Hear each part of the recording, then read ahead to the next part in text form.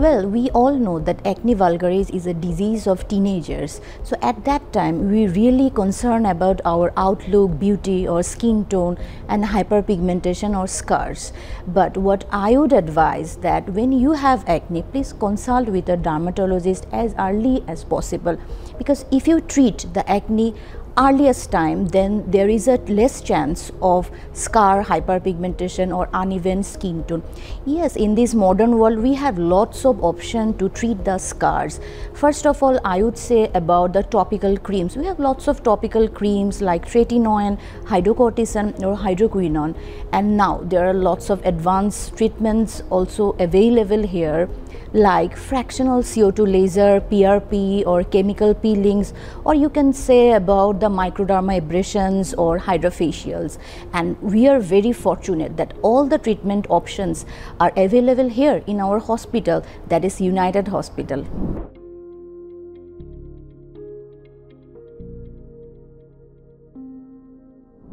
Yes, definitely. There is definitely uh, a strong connection with our hormones and acne. In case of girl, in the menstrual cycle, lots of time the hormone level going ups and downs. So before the period, we have uh, less hormone of estrogen and progesterone, and for that reason, our oil content of skin become more and acne become more. So what we can do, it's a normal natural change of our body. So we just maintain our food habit sleeping habit and personal hygiene. Those can improve your acne breakouts in your period time.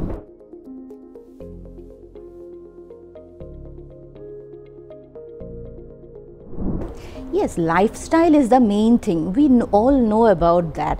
Good food habit, good exercise, good sleeping pattern definitely improve your all over health and that definitely improve your skin, nail, hair. It's very normal thing. But yes, lots of uh, foods or vegetables and fruits are good for our skin we should be more concerned about the taking of vegetables and which contain lots of vitamin A, C and also some biotins, nuts and lots of foods and the main thing is that you should take more water to improve your health and also improve your skin.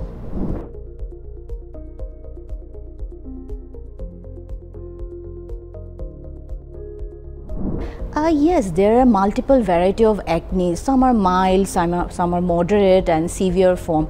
But it's really tough to do the diagnosis at home.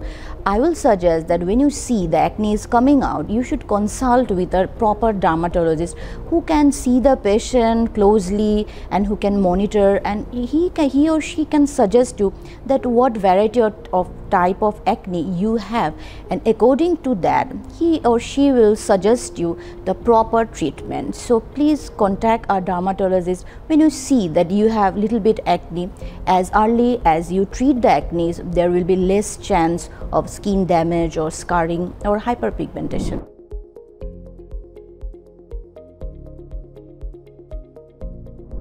Uh, first of all, I would say that uh, there are mild acnes who never cause any long-term damage, but lots of people have severe acne that's called acne conglobata, and after that you can have lots of hyperpigmentation, scar, or uneven skin tone. So you should consult a doctor when you see that your acne is severe. If you do the treatment and then the scar will be removed soon. But now there are actually lots of modern treatment we have. In our hospital, we commonly do the fractional CO2 laser or PRP or we can do the chemical peeling if you do or treat your skin as early as possible definitely the uh, amount of damage or the proportion of hyperpigmentation will be less. So you should treat the acne as early as possible to your nearest dermatologist